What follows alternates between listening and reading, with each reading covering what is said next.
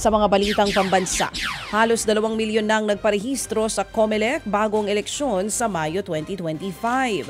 Sa datos ng COMELEC, lagpas 1.9 milyon na ang mga nagparehistro sa buong bansa. Halos doble na yan ang isang milyong registration sigit isang buwan ang makalipas.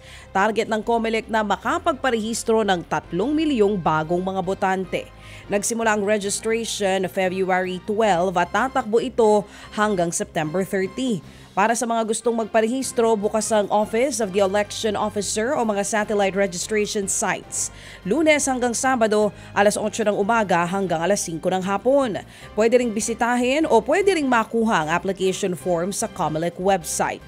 Paalala ng Comelec, hindi natatanggapin ang mga company ID. Kaya siguruhin lamang na may dalang government-issued ID na mayroong pirma. Iminungkahi naman ng Teachers Dignity Coalition na paikliin ang school calendar sa paparating na school year. Yan nga ay kung gusto ng gobyerno na maibalik sa June to March ang school calendar. Sa ganitong paraan kasi hindi nasasagasaan ang school break ng mga estudyante. Mas maaga yan kumpara sa May 16, 2025 na unang itinakda ng Education Department. Kung ganito raw ang gagawin, nasa isandaan at pitumpung araw pa rin naman ang nakalaang mga araw para sa klase.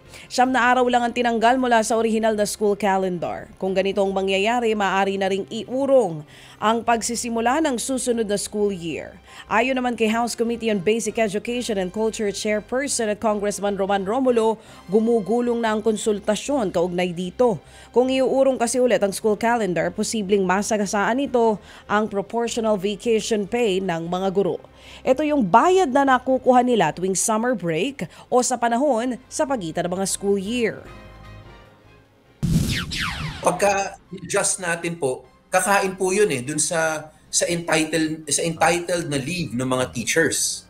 Oo, so um, theory Kailangan pumayag po sila pero of course po para pumayag din sila, Oo. kailangan may kaakibat 'yun na compensation. So ang mangyayari po talaga diyan ay kailangan magkasundo, kailangan talaga konsultasyon ang mangyayari diyan. Yan ang tinig ni Congressman Roman Romulo, Chairperson ng House Committee on Basic Education and Culture. Samantala, pinaalala naman ng MMDA na ipagbabawal ng mga e-bike, e-trike at iba pang light electric vehicle sa ilang major roads simula Abril 15.